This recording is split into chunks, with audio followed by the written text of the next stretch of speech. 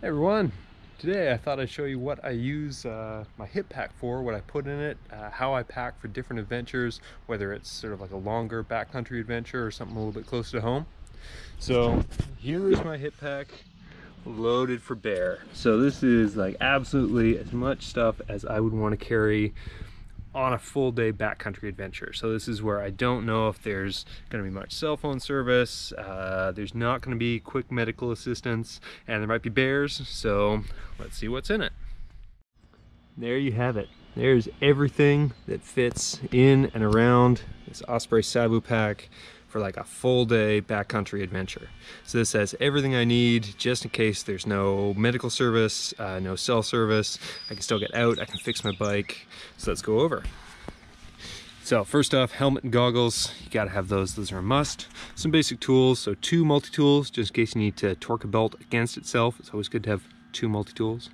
Uh, croissant wrench, just in case you run into French people. A uh, little folding knife, uh, hand pump with a CO2 attachment to it, uh, some bacon strips, uh, so those are tire um, sealant plugs for tubeless tires. Uh, dollar bills work really well for sealing patches on tires as well because they're cotton, so use American money, not Canadian. Um, tire patches as well. We have some uh, poison oak, poison ivy treatment, a foam, obviously. A tube, go with the smallest one you can find. So for 29 inch wheels, I still use a 27.5. You could probably even get away with a 26, just pack smaller. Bear spray, bear bell duct tape that'll seal you up real good some antiseptic wipes.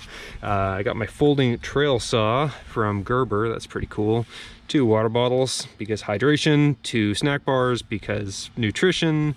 Uh, bandana because you never know when you're going to sweat a whole ton um, some basic band-aids, uh, a combi pad for absorbing all the horrible fluids that you might leak out, uh, QuikClot, so put that over a wound and hopefully you won't bleed out, uh, some gauze bandages and a triangular bandage as well, definitely a good thing to have, and a lightweight packable jacket uh, just in case it gets cold. So let's see how that all fits inside this pack.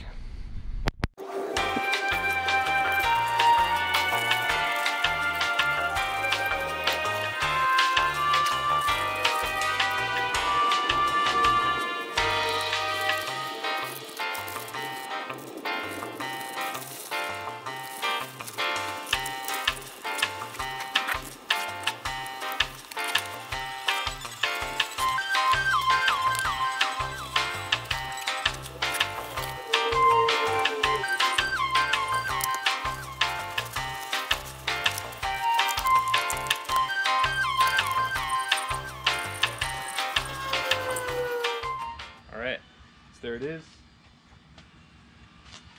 Packed up nice and small, so really easy to ride with. Uh, it's totally out of the way. I do take all the weight out of there when I start descending, the helmet being the big part of it. So the pack really doesn't move that much. I still feel safe on the bike for longer days in the saddle, and I've got everything I need with me. All right, so this is what I'll bring for sort of like an average longer, uh, so like half day ride or something like that. So this normally still in cell phone contact, so the cell phone's pretty clutch. Uh, not bringing a whole ton of extra supplies, not bringing a whole lot of first aid either. So the assumption here is that if something does go sideways, we'll be able to call for help.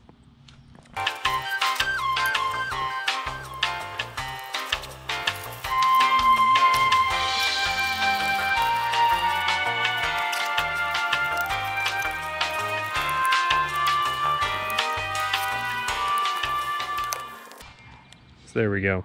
There's the pack. All ready for a longer day on the trails. All right, and here we have the pack for my favorite type of ride, the quickie afternoon, like one to two hour bro down, hoe down. Awesome little enduro ride.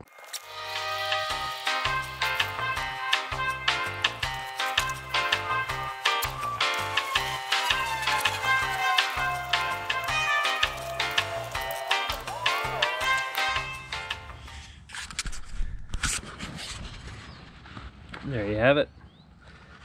The ultimate day pack. Thanks for watching. See you out on the trails.